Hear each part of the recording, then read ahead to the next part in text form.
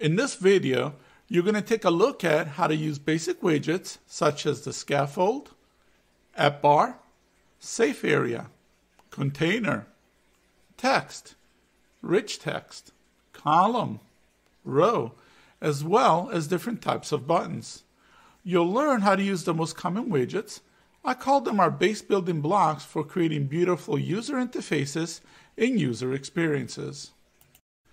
The scaffold widget implements the basic material design visual layout, allowing you to easily add various widgets such as the app bar, bottom app bar, a floating action button, a drawer, snack bar, bottom sheet, and more. The app bar widget usually contains the standard title, toolbar, leading and action properties, you know, along with buttons, as well as many customization options. The title property is typically implemented with a text widget. You can customize it with other widgets, such as a drop-down widget. The leading property is displayed before the title property. Usually this is an icon button or a back button. The actions property is displayed to the right of the title property.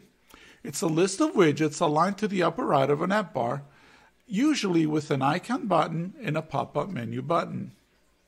The flexible space property is stacked behind the toolbar or the tab bar widget. The height is usually the same as the app bar's widget's height.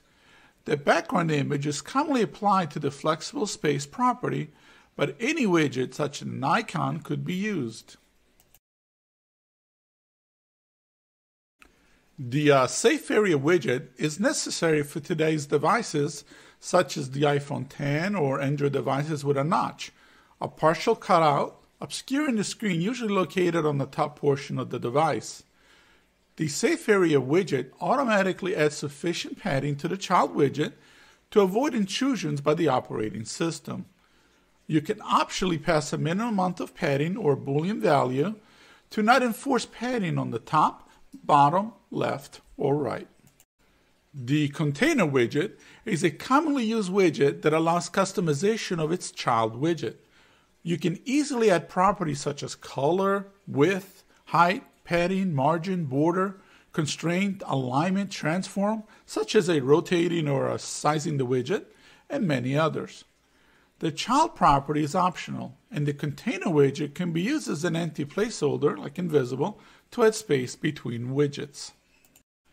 The text widget is used to display a string of characters. The text constructor takes the argument string, style, max lines, overflow, text align, and others. The constructor is how the arguments are passed to initialize and customize the text widget. The rich text widget is a great way to display text using multiple styles. The rich text widget takes text spans as children to style different parts of the strings. A column widget displays its children vertically. It takes a children property containing an array of list of widget, meaning you can add multiple widgets. The children are vertically without taking up the full height of the screen. Each child widget can be embedded in an expanded widget to fill the available space.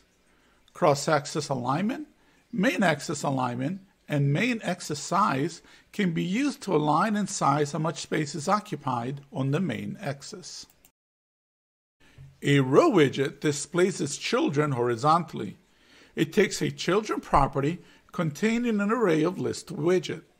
The same properties that the column contains are applied to the row widget, with the exception that the alignment is horizontal and not vertical.